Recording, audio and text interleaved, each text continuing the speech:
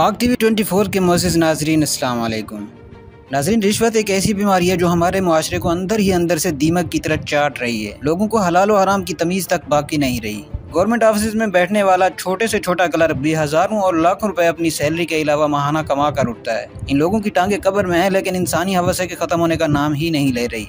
नाजरीन, रिश्वत के इस नासूर ने महकमा अवकाफ को भी ना छोड़ा और महकमा अवकाफ के कुछ लोग भी इस लानत का मुरतकब होते हुए पकड़े गए। नाजरीन, खलाई मखलूक को गुमनाम सिपाही पाकिस्तान को रिश्वत के नासूर से पाक करने में सरगर्म हैं और आए दिन रेड करके पाकिस्तान के इदारों में मौजूद इन काली भेड़ों को मार बाहर निकालने में दिन रात कोशिश कर रहे हैं और इनकी इस कोशिश से कई काली भेड़ें अपने अंजाम को भी पहुँच चुकी हैं। ताज़ा तरीन कार्रवाई में महकमा अवकाफ का ये अफीसर भी इस घनौने काम को करते हुए रंगे हाथों पकड़ा गया है। जिसे एंटी करप्शन के मुतल हुकाम सबूतों समेत गिरफ़्तार कर रहे हैं। नाजरीन ये लोग ऑफ़िस में बैठकर लाखों रुपए सैलियाँ लेकर भी आवाम को चूना लगाना नहीं छोड़ते और इसे अपना हक समझकर ये घिनौने काम करते हैं। नाजरीन ऐसी काली भेड़ों को सबक सिखाने के लिए हुकूमत को कौन सी हमत अमली इख्तियार करनी चाहिए?